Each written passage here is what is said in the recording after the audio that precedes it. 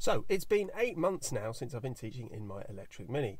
That's automatic. I wouldn't go back. I spent 19 and a half years teaching in a manual. I seriously wouldn't go back there.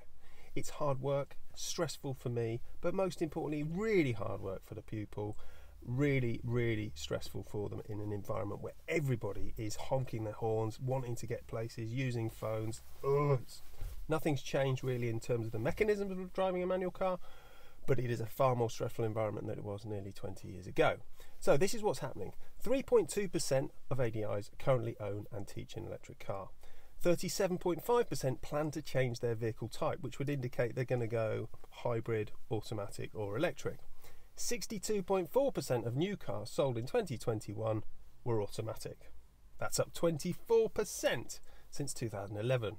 And the DVSA is saying in the same period in the last 10 years, automatic tests have trebled. So, what does this mean if you are thinking of learning to drive?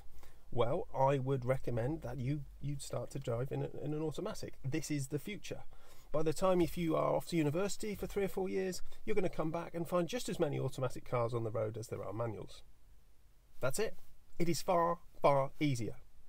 Don't forget to check out my online driving course. It was filmed in a manual, but it is still 100% relevant to learning to drive an automatic.